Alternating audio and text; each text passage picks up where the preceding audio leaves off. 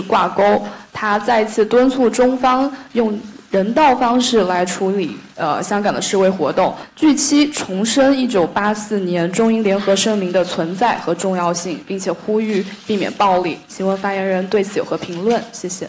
必须说明，英国无权监督香港的事务。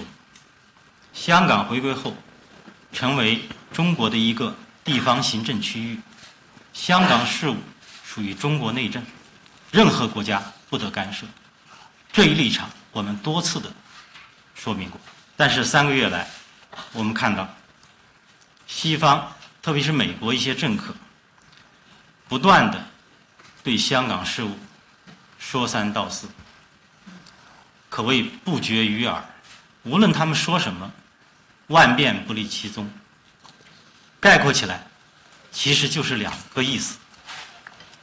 第一个意思，就是一本正经的说瞎话，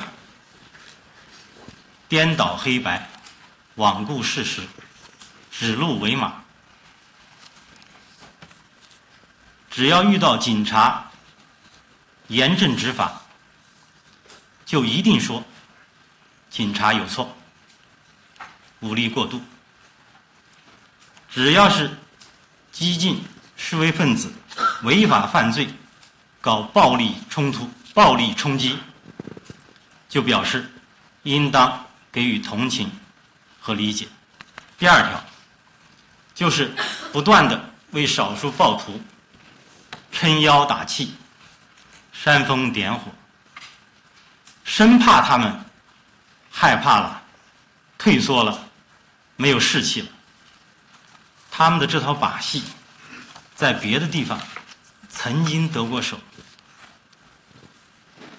在当地留下满目疮痍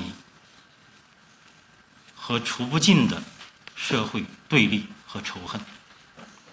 但是，在香港，在中国的土地上，这一套把戏不管用。